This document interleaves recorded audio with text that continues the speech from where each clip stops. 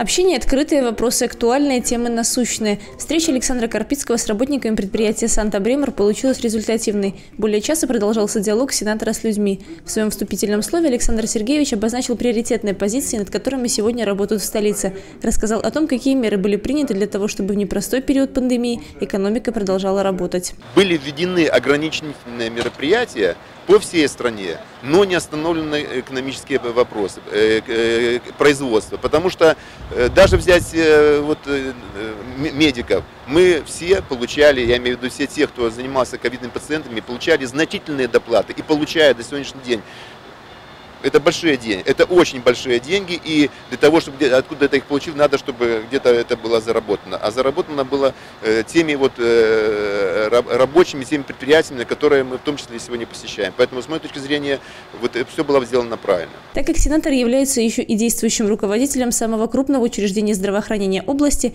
разговор затронул и тему коронавируса. Александр Карпицкий рассказал о принятых мерах в борьбе с болезнью, а также о том, что сегодня некоторые отделения в главной региональной больнице уже возвращаются к привычному ритму работы.